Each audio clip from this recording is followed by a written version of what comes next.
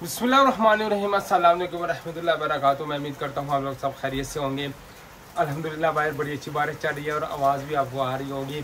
तो आज की जो वीडियो, इस वीडियो के अंदर मैं आपको बताने जा रहा हूँ, मुझे काफ़ी ज़्यादा क्वेश्चन जो आते हैं, मुझे स्क्रीनशॉट भेजा जाता है नौला उस्ता का, मुझे जो उनके डिमांडा, जिसको बोला जाता है, रसीद भेजी जाती है। भाई, इसको आप वेरीफाई कर दें, इसको चेक कर दें।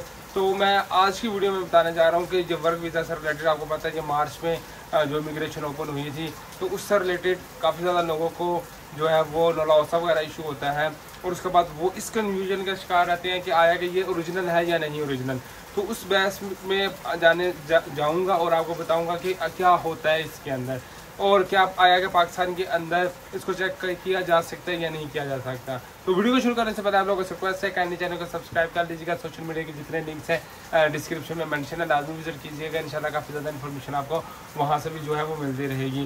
तो देखें, जब आपका नौलावसा इशू होता है तो सबसे पहले बात आपको पता है कि जब आप सबमिशन करवाने जाते हैं तो अम्बेसी वाले मिडल मैन मिडल मैन के बाद जो मेन आपका ऑनर होता है, उसकी डिटेल्स वगैरह लेते हैं। तो अगर तो आपका मिडल मैन आपके काबिल एतबार है तो डेफिनेटली नौलावसा ओरिजिनल होगा। अगर वो काबिल एतबार नहीं है तो पाकिस्तान के अंदर से बैठे हुए कोई भी बंदा कहीं से भी चेक नहीं कर सकता। इवन के बी के अंदर भी जब आपका नौला आ जाता है तो बी वालों को भी नहीं पता होता कि आया कि ये ओरिजिनल है या फेल तो बी क्या करती है बी इस डॉक्यूमेंट को अम्बेसी भी भेजती है अम्बेसी को वेरीफाई करती है, वापस से अम्बेसी बी को ईमेल आती है कि आप इसको एक्सेप्ट करें या ना करें। तो ये सीन होता है। तो मैं आपको ये बता देना चाहता हूँ कि जो लोग आ, सोचते हैं ये क्या समझते हैं कि नौला वहाँ से इशू हो गया पाकिस्तान से आपको पता चल जाएगा तो कभी भी पता नहीं चल सकता। व्हाट्सएप पर डेली की बेसिस पे मुझे काफ़ी ज़्यादा मैसेज आ रहे होते हैं। या या तो उन्होंने रसीदें भेजी होती हैं या नौला उस्ता भेजा था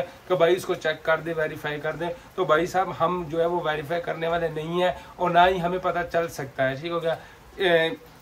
पाकिस्तान के अंदर जो उनकी आउटसोर्स कंपनी है अम्बेसी की इवन की उनको भी नहीं पता चल सकता। तो यहाँ पर मेरी जो सबसे बेहतरीन आपको एडवाइस ये है कि आपका मिडल मैन हमेशा उस पर्सन को चूज़ करें जो आपका काबिल एतबार बंदा हो। अगर वो काबिल एतबार नहीं है तो फिर उसके अंदर वहाँ आपको इम्बिग्विटी रहेगी रहेगी। तो हमेशा से जब भी आप चूज़ करेंगे मिडल मैन को, जिसके फोकल पर्सन जो होता है, वो अगर काबिल एतबार होगा तो डेफिनेटली उसी की बेस पर जो है वो नौलावसा सही होगा या गलत होगा।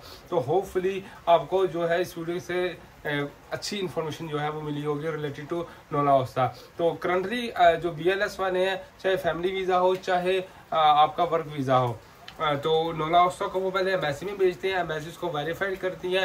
एम्बेसी उन्हें ईमेल करती है। हाँ ये ओरिजिनल है, ठीक है ओके है ऑनलाइन है। तो तब जाकर आपका केस जमा होता है। अगर एम्बेसी कहती है कि ये note phone in S U I system में अगर फ़ोन नहीं होता तो वो कह देती है, ये फेक है। तो आपका चाहे फैमिली वीज़ा हो या वर्क वीज़ा हो सबमिशन नहीं हो सकती होपफुली वीडियो आपके लिए वैल्यूबल होगी। नेक्स्ट वीडियो तक के लिए आपका ख्याल रखिएगा। अल्लाह हाफिज़।